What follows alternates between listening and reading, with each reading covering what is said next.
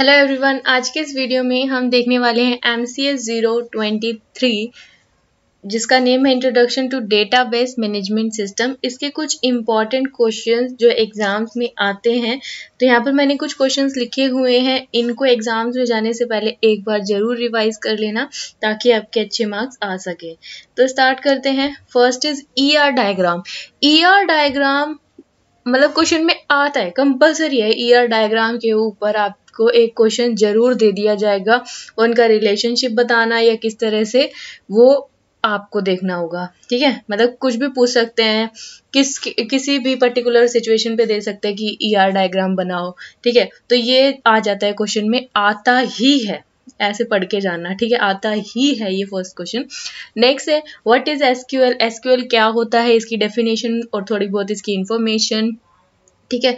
इसके बाद में आता है एक्सप्लेन इट्स इंपॉर्टेंस फीचर्स ठीक है? इसके क्या क्या इंपॉर्टेंट फीचर हैं, उसको आप थोड़ा सा पढ़ लेना।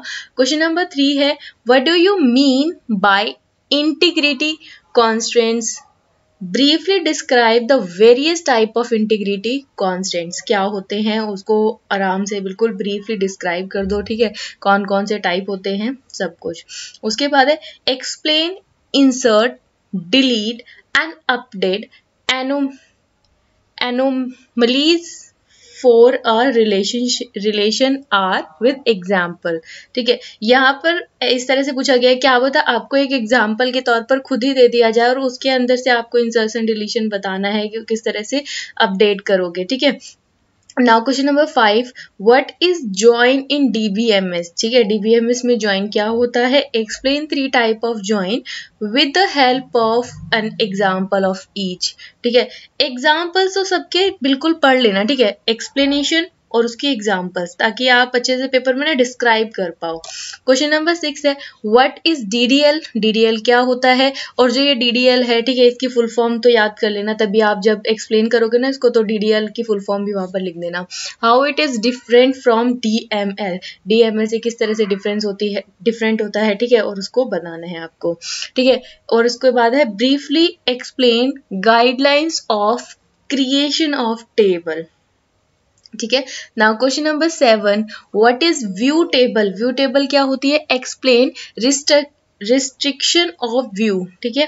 उसके बाद question number eight what is database recovery database recovery क्या होता है? एक्सप्लेन विद एन एग्ज़ाम्पल एक एग्ज़ाम्पल के साथ में आप उसको एक्सप्लेन करो।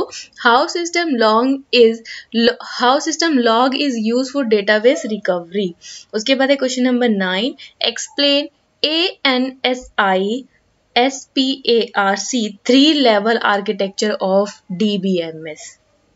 Now question number 10 differentiate between हाँ ये जो हमारी, ये जो तीनों नॉर्मल फॉर्म्स होती हैं, इनको तो बिल्कुल ढंग से पढ़ लेना। इसमें देखो, ऐसे भी आ सकता है कि डिफरेंस बताओ। कई बार आता है explain first normal form second normal form third normal form या फिर बी सी एन एफ़ ठीक है? उसके बाद में ना, आपको एक क्वेश्चन दे दिया जाता है। उसके बाद में उस क्वेश्चन को आपको ब्रीफली डिस्कस कर मतलब बताना पड़ता है। वो बोल देते हैं कि इसको फ़र्स्ट नॉर्मल फॉर्म में चेंज करो सेकेंड नॉर्मल फॉर्म में चेंज करो थर्ड नॉर्मल फॉर्म में चेंज करो, ठीक है? ये क्वेश्चन आता ही है तो नॉर्मल कॉमन फॉर्म को भी बहुत अच्छे से पढ़ लेना। उसके बाद है what is the need of indexing indexing की ज़रूरत क्यों पड़ती है? डाटाबेस मैनेजमेंट सिस्टम में explain the significance of primary index with the help of an example ना question number twelve what is data fragmentation data fragmentation क्या होता है? एंड डेटा रिप्लीकेशन क्या होता है? Explain type of data fragmentation ठीक है?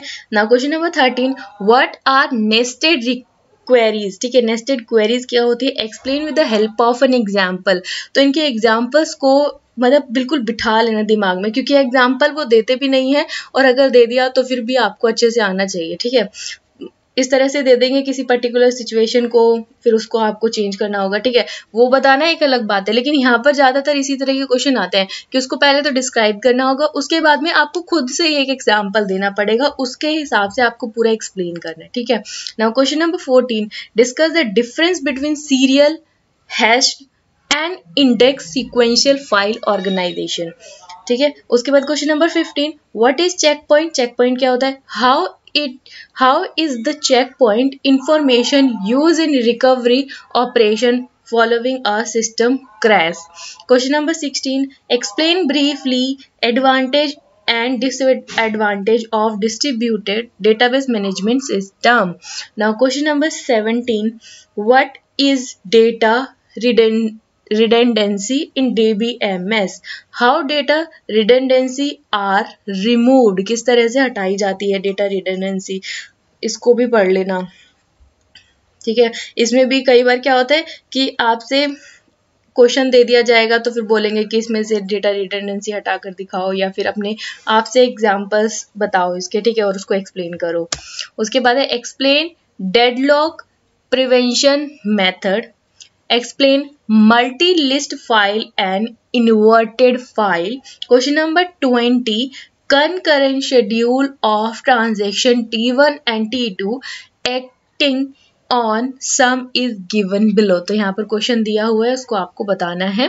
ठीक है question number twenty one analyse the given concurrent schedule performing following task what is the final value of sum verify that the given schedule is serializable or not explain. Now question number 22 define function dependency इसको भी बहुत अच्छे से पढ़ लेना function dependency पे भी question आता ही आता है find the valid FDs in the following relation. Functional dependency क्या होता है? एक्सप्लेन करो। फिर क्वेश्चन भी आ सकता है इसके ऊपर। वो खुद एग्ज़ाम्पल दे सकते हैं। या फिर आपको बोलेंगे कि किसी एग्ज़ाम्पल के थ्रू उसको एक्सप्लेन करके दिखाओ कि फंक्शनल डिपेंडेंसी होता क्या है।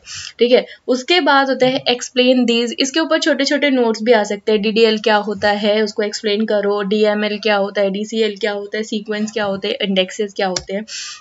उसके बाद question number twenty four explain file processing system and database system ठीक है एक्सप्लेन करना है आपको कि फ़ाइल प्रोसेसिंग क्या होता है एंड डेटाबेस सिस्टम क्या होता है। Question number twenty five determine the output when following operation are applied on a relation one two three and जो भी हमें यहाँ पर दे रखा है।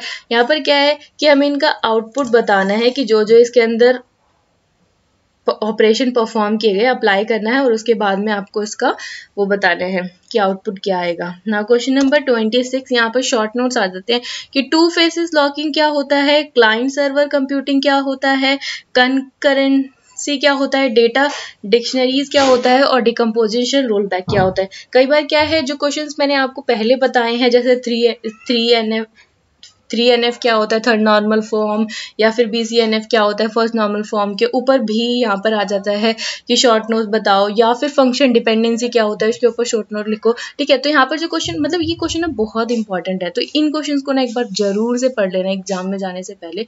और आई होप कि आपको वीडियो अच्छा लगा होगा तो वीडियो अच्छा लगा हो तो वीडियो को लाइक करें शेयर करें अपने फ्रेंड्स के साथ कमेंट करें। अगर आपको कोई भी सजेशन या फिर आपकी कोई भी क्वेरी सब्सक्राइब करें हमारे चैनल को, ताकि और भी ऐसे इन्फॉर्मेटिव वीडियोज़ आपको मिल सके। Thank you for watching